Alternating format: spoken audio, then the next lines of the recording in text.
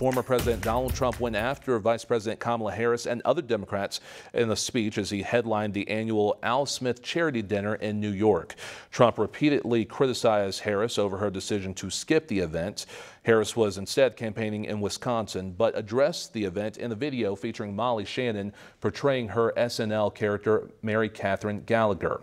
Now, on the campaign trail, Harris criticized Trump's comments, calling the January 6th Capitol attack a quote, day of love. The American people are exhausted with his gaslighting. Exhausted.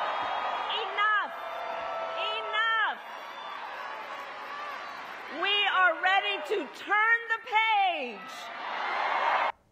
Billionaire campaign surrogates also rallied in full force, with Mark Cuban pulling for Harris and Elon Musk showing support for Trump.